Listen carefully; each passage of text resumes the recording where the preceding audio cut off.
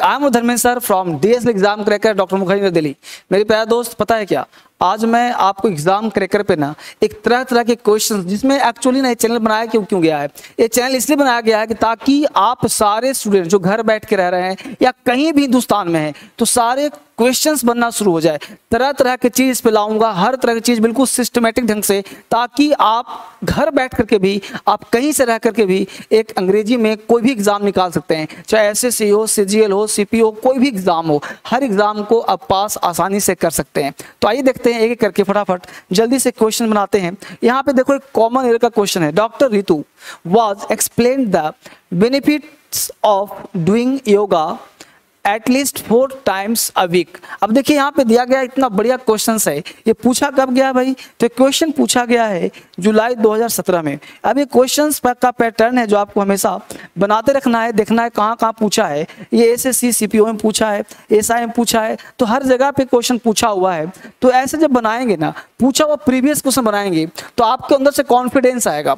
और जब कॉन्फिडेंस आएगा ना तो किसी भी क्वेश्चन को बड़े आसानी से बना सकते हो। तो आसानी से बना सकते हो, आप आपने बना भी लिया होगा। वाह वाह बहुत अच्छे आंसर आ रहे हैं सारे बच्चों के। बहुत सुंदर। डॉक्टर रितु वाज एक्सप्लेन अब देखियो वाज है। तो आपने पढ़ा होगा डॉक्टर रितु क्या काम कर रहा है? सब्जेक्ट का। और सब्जेक्ट के बाद जब हेल्पिंग भर बींग हो is am are was were हो, यानी आपके पास सब्जेक्ट हो। सब्जेक्ट के बाद इज़ हो एम हो आर वाज वर कहा ध्यान है मेरे दोस्त? वाज वर के बाद। हमेशा वर्ब का थर्ड फॉर्म आता है। अगर इसका वर्ब का फोर्थ फॉर्म लगाते हैं तो इसे हम कॉन्टिन्यूस टेंस कहते हैं। क्या कहते हैं? क्या सुना आपने? कॉन्टिन्यूस और अगर वी थ्री हो ना तो इसे पैसिव वॉइस कहते हैं। और वी फोर हो तो एक्टिव वॉइस कहते हैं। तो आप समझ में आ गया क्या कहना चाह रहा हूँ? बड़े समझदार हो आप। तो कहना ही चाह रहा था मैं आपको कि ऋतु के बाद वाज आया है, कि इसका मतलब हेल्पिंग वर्ब है। अब हेल्पिंग वर्ब के बाद एक्सप्लेन यहाँ भी वन है, जबकि होना क्या चाहिए था? वर्ब का थर्ड फॉर्म क्यों होना चाहिए था?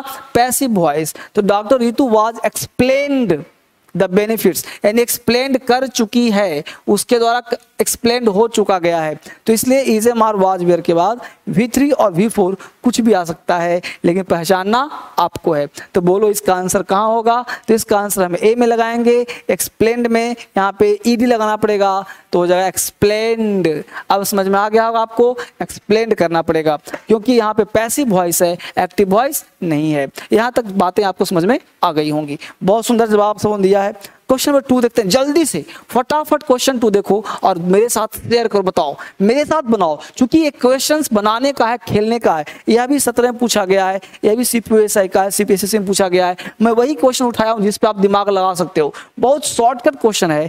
कैन यू इमेजिन बनाइए फटाफट। ये पता है क्या? कॉमन एरर का क्वेश्चन है, ताकि आपको ऐसे ऐसे सीजीएल सीपीओ कोई भी एग्ज़ाम होना आसानी से निकल सकता हो, चुटकियों में काम हो सकता है। तो can you imagine that she has 35 pair अब देखो 35 मतलब 35 अब 35 क्या होगा? डिजिट हो गया। इसके बाद कोई भी नाउन आएगा ना तो ये नाउन हो जाएगा प्लूरल यह चैनल आपके लिए बनाया गया है। इससे बड़ा तूफ़ान चाहिए ना तो डीएस स्पोकन है। लेकिन यहाँ पे क्या काम करना सीखने वाला है।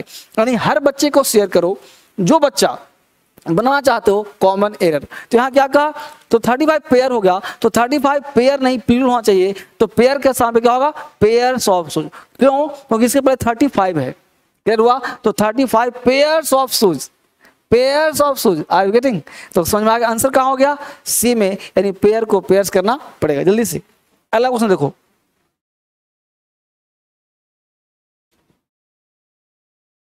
फटाफट। I was born on fourteen July 1990 in Allahabad जल्दी से। बन गया? बहुत बढ़िया। बहुत तेज हो आप लोग। तो I was born passive voice अब जस्ट था ना ऑन फोर्टीन जुलाई क्या आंसर दिया?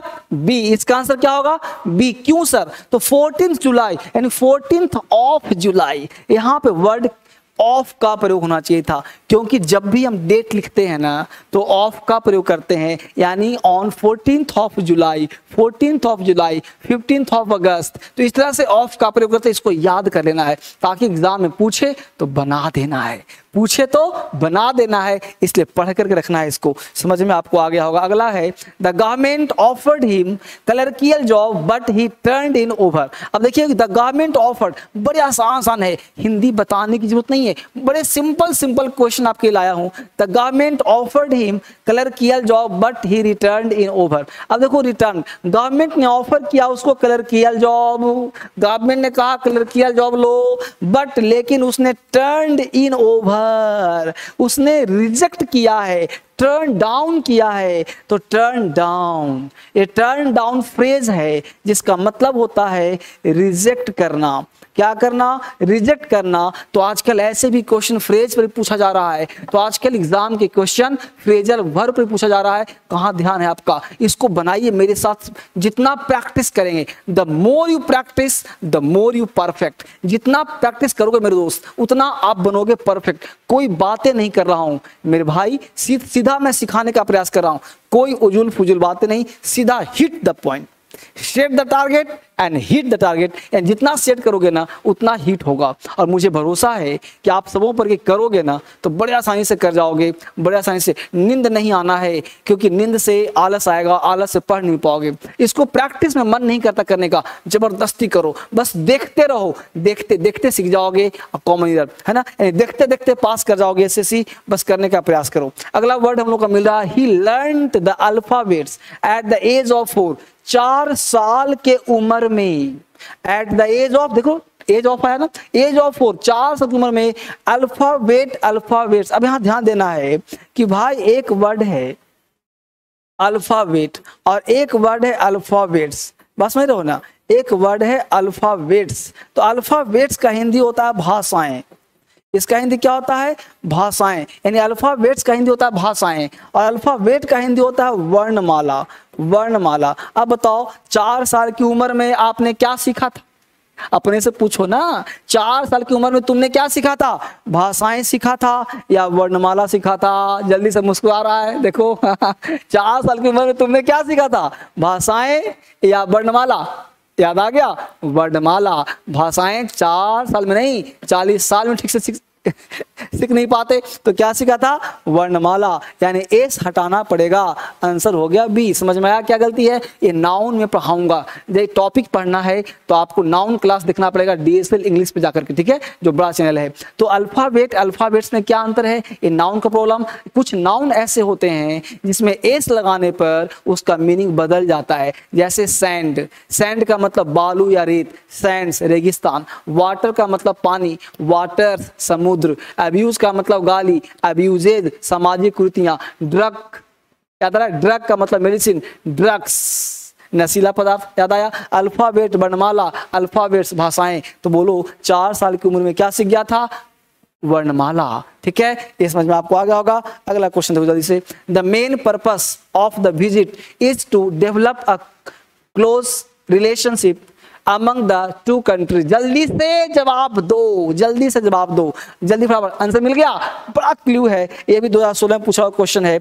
ये है टीयर वन का एसएससी का क्वेश्चन है। 16 में पूछा हुआ क्वेश्चन है राइट तो क्या कहा हमने? The main purpose of the visits है ना? इज़ टू डेवलप क्लोज यानी कि मेरा आने का मेन पर्पस क्या है भाई?